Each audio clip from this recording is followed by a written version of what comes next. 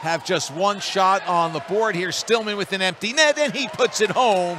And that'll officially make it a 5-2 game and all but secure the victory for the Devils with 25 seconds to go. All right, now I feel safe to make my point with 25.3.